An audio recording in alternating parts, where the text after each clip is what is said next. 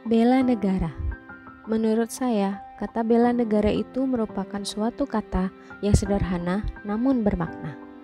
Bela negara adalah sikap dan perilaku warga negara yang dijiwai oleh kecintaannya kepada NKRI yang berdasarkan Pancasila dan UUD 45 dalam menjalin keberlangsungan hidup bangsa dan negara yang seutuhnya. Menurut saya, konteks bela negara harus diwujudkan mulai dari kehidupan sehari-hari. Inilah implementasi nilai bela negara dalam keseharian saya. Pada pagi hari, saya awali dengan olahraga. Olahraga dapat menjaga kesehatan fisik dan mental kita loh, dan juga sebagai wujud implementasi kemampuan awal bela negara.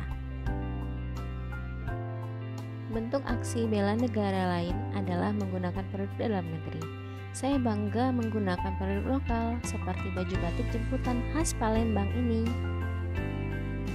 Dalam acara khusus, saya juga sering menggunakan kain songket Palembang dalam wujud melestarikan budaya.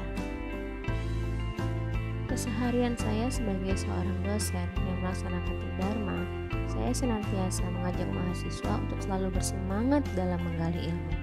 Saya bangga menjadi seorang pengajar yang dapat rela berkorban untuk memajukan pendidikan Indonesia. Di sela keseharian saya yang padat, tak lupa saya melaksanakan kewajiban saya sebagai seorang muslim yaitu sholat dan mengaji.